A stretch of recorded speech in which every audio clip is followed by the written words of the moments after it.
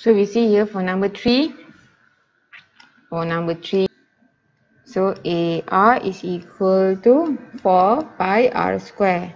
And then we see RT increasing 2 over 3 T cube. T is larger than 0. So we see here surface area as function of time. This is surface area function.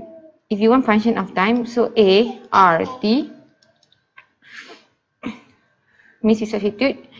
Uh, we see substitute RT inside R. So 4 pi R will become RT. So 4 RT. So it's equal to 4 pi. RT, see we have square here. RT is 2 over 3 T cube. So we will have 4 pi.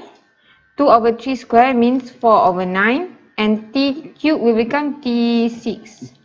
So we have here 6 times 6 is 16. 16 over 9 pi T6. Right, this is one is A.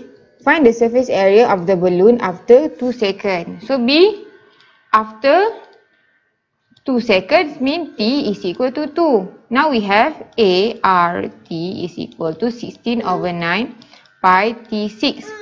So A R2 is equal to 16 over 9 pi 2 power of 6 which is equal to which is equal to 113 7 over 9 pi.